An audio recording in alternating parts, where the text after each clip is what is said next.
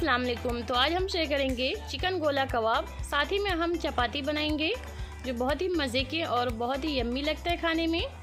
तो चले हम सीख लेते हैं हमें गोला कबाब एंड चपाती कैसे बनानी है। सबसे पहले हमने यहाँ पे आधा के जी बॉलनेस चिकन ले लिए हैं और इसे हमने अच्छे से वॉश कर लिए हैं फ्रेंड्स और इसी के साथ एक मीडियम साइज़ का अनियन लेंगे, इसे हमने फ्राई कर लिए हैं। और साथ ही में हमने यहाँ पे वन टीस्पून सॉल्ट लिए हैं। वन टीस्पून जिंजर गार्लिक का पेस्ट है। दो टीस्पून हमने यहाँ पे घी ले लिए हैं। अगर आपके पास घी नहीं है तो इसकी जगह ऑयल ले लें। और इसी के साथ half teaspoon chaat masala लेंगे। थोड़ा सा हमने यहाँ पे हरा धनिया ले लिए हैं। चार से पाँच हरी मिर्ची है। और इसी के साथ यहाँ पे लेंगे वन टीस्पून काली मिर्च का powder one teaspoon red chilli powder one teaspoon garam masala powder half teaspoon हल्दी का पाउडर तो अब हम यहाँ पे क्या करेंगे कि हमारे पास जितने भी मसाले हैं, सबको हम चिकन में ऐड कर देंगे। इस तरीके से फ्रेंड्स एक बार आप चिकन गोला कबाब ज़रूर बनाइए और एक बार ज़रूर ट्राई करके देखिए। बहुत ही मज़े का, बहुत ही दिलचस्प बनते हैं फ्रेंड्स और हमारे चैनल पर अगर नहीं है तो हमारे चैनल को लाइक सब्सक्राइब ज़रूर करिएगा फ्रेंड्स ताकि हमारे हर न्यू आने वाली वीडियो अब तक पहुँच सके। तो इसी के साथ हमने सारे मसाले को चिकन में ऐड कर दिए हैं। और अब हम थोड़ा सा अच्छे से मिक्स कर लेंगे चिकन के साथ। तो यहाँ पे हमने सारे मसाले को चिकन के साथ अच्छे से मिला लिए हैं और अब हम यहाँ पे लेंगे एक मिक्सर का बॉल और जितने भी हमारे पास चिकन है, सबको हम पीस लेंगे। तो चिकन को हमें ज़्यादा बारीक भी नहीं पीसना है और ज़्यादा मोटे भी नहीं रखना है, मीडियम साइज़ ही पीसना है। तो इसी के साथ हमने सारे चिकन को अच्छे से पीस लिए हैं। और थोड़ा सा हम मिक्स कर लेंगे फ्रेंड्स और अब हम यहाँ पे हाथों में थोड़ा सा घी लगाएँगे। और इसे हम गोल शेप में बना लेंगे। इस तरीके से हमें गोल शेप में बना लेनी है और यहाँ पे हम एक सीख के मदद से इसमें होल कर लेंगे। इस तरीके से हमें सारे गोला कबाब में होल कर लेनी है।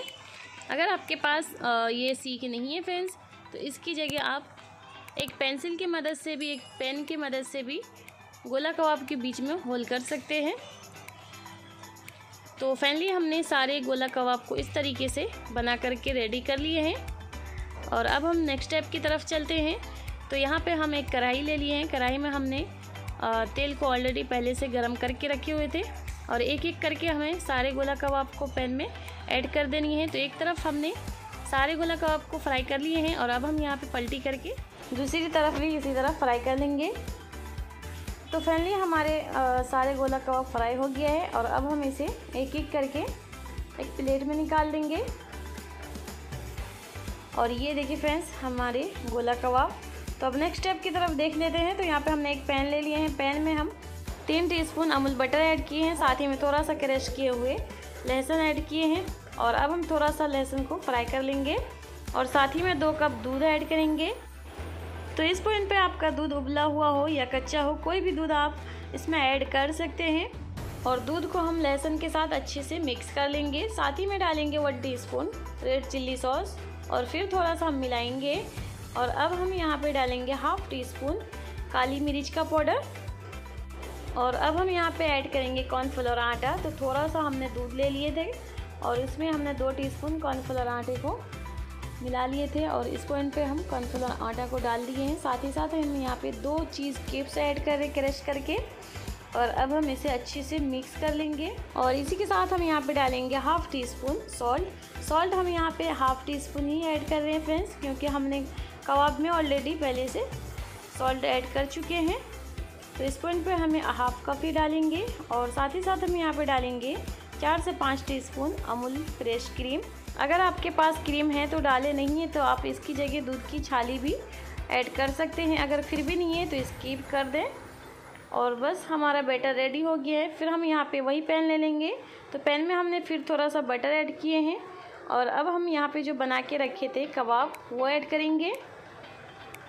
तो एक एक करके हमें सारे कबाब को पैन में ऐड कर देनी है। साथ ही में हमने यहाँ पे दो चीज़ क्यूब्स फिर से ऐड किए हैं क्रश करके। और ये जो हमने बैटर बना के रखे थे, वो ऐड कर देंगे। और इसी के साथ हम यहाँ पे डालेंगे थोड़ा सा हरा धनिया। तो पहले हमारे चिकन चीज़ कबाब बन के रेडी हो गया है और हम नेक्स्ट स्टेप की तरफ़ देख लेते हैं फ्रेंड्स तो यहाँ पे अब हम बनाएँगे चपाती।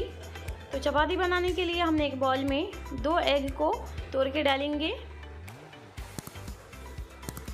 और इसी पॉइंट पे हम डालेंगे वन टीस्पून सॉल्ट साथ ही में हम डालेंगे चार से पाँच टीस्पून अमूल फ्रेश क्रीम। इस तरीके का अमूल फ्रेश क्रीम आपको मार्केट में बहुत ही इजी से मिल जाएगा। और अब हम एक चम्मच की मदद से सारे अंडे को अच्छे से मिक्स कर लेंगे। तो हमारे अंडे का बेटर रेडी हो गया है। और इसी पॉइंट पे हम डालेंगे तीन कप मैदा।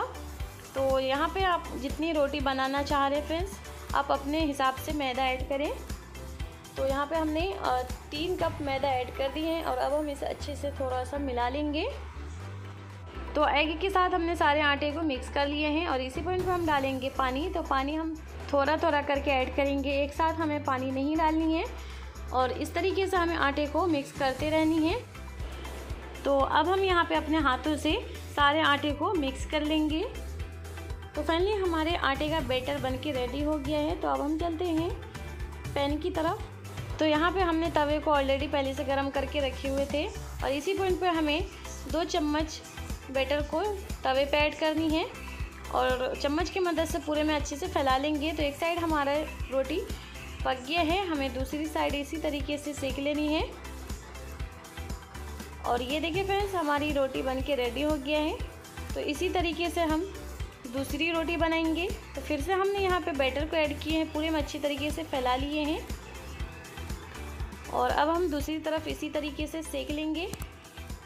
बाकी के हमारे जितने भी रोटी हैं, सबको हम इसी तरीके से बना करके रेडी करेंगे फ्रेंड्स